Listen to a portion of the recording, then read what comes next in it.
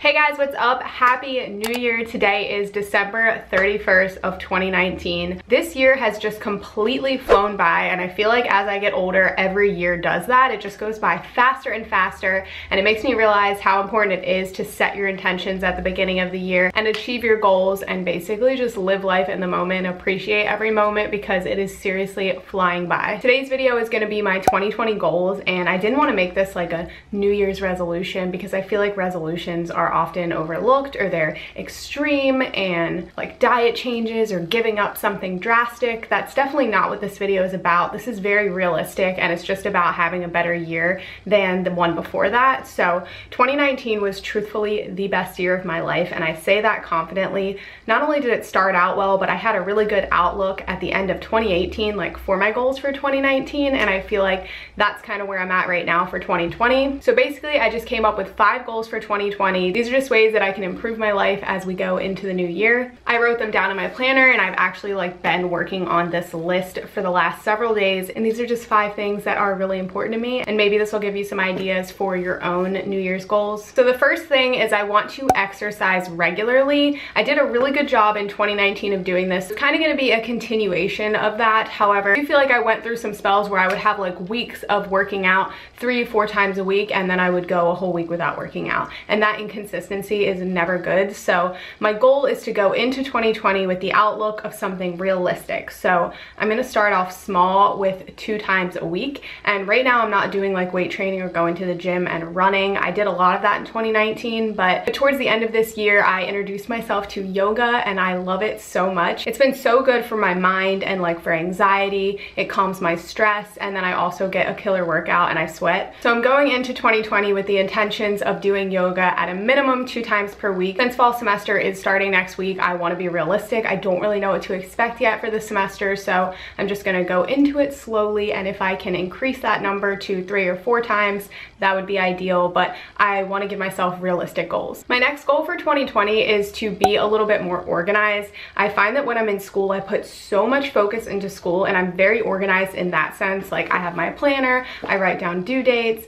I am never late on an assignment. Like, I'm typically really good about that, but then I let other areas of my life fall short, like my desk drawer, or you guys saw my office in my vlog from yesterday, and that was a total mess. My dresser, all of my clothes, like I'm terrible with my laundry and folding it and putting things back on hangers.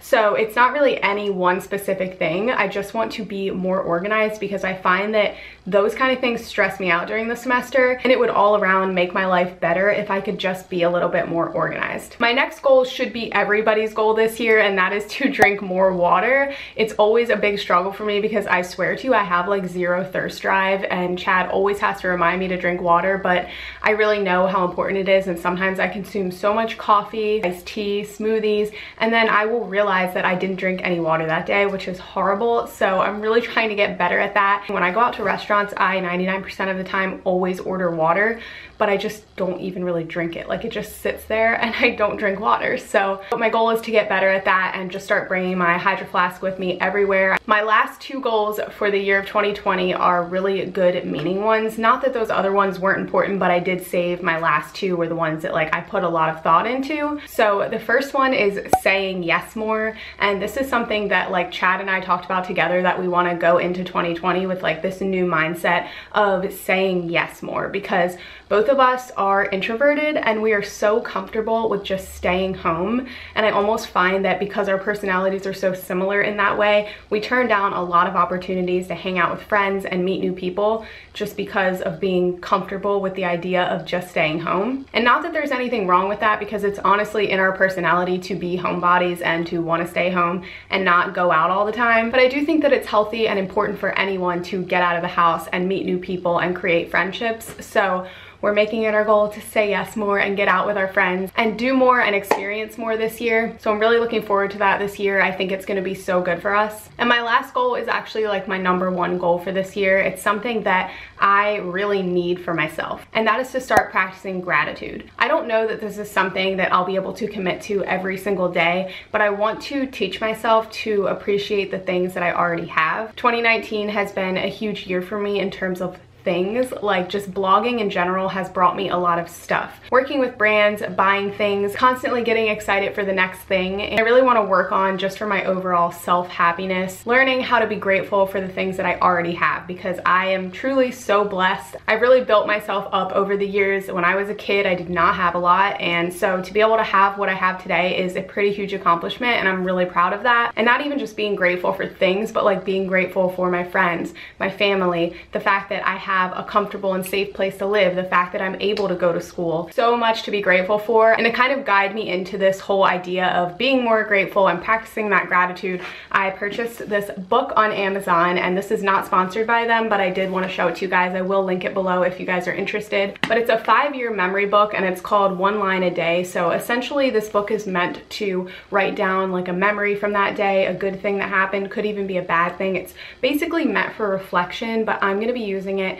specifically for gratitude. So this book will start tomorrow on January 1st and it's just got a spot to write 2020 and then this will be 2021 and then it's got a line for the next five years. So my goal is to really stick to this book and every single night I wanna take the time to just write one thing that I'm grateful for that day and I think it'll be awesome. I love the fact that it's for five years, which means that next January I'm gonna turn to this very page on January 1st and I'll be able to read what I was grateful for that day a year ago. And I just think this is awesome. It's super affordable on Amazon. I can't remember exactly how much I paid for it, but it is pretty small. It's gonna be perfect to just sit on my night table. So if you guys are looking for something like this, it's really cute. It comes in other designs and I definitely recommend it. I'm so looking forward to using this this year. And those are all of my goals for 2020. I am so excited for this new year. If it's anything like 2019, then it's gonna be amazing. 2019 was really a year of growth for me. It was the year that I decided I'm gonna go back to college. Being a little bit older now in college has actually been like the greatest thing for me because I feel so much smarter. And that kind of seems silly, but I swear to you, I just have such a better mindset for school now than I ever did when I was younger. Not to mention my blogging has really taken off. My YouTube started to grow. I recently signed with a management company, so I'll have a lot more opportunity in 2020 in terms of brand deals and growing. I truly believe that 2019 was the best year of my life so far, and I can't wait for 2020. So thank you guys so much for watching this video and following along with my journey through college. I mean, this year has been so much fun doing YouTube, and none of it would be possible without your support. So thank you for that. I hope that you guys have a happy new year and get excited because spring semester starts next week. If you're not already subscribed, be sure to click that subscribe button and I'll see you in my next video.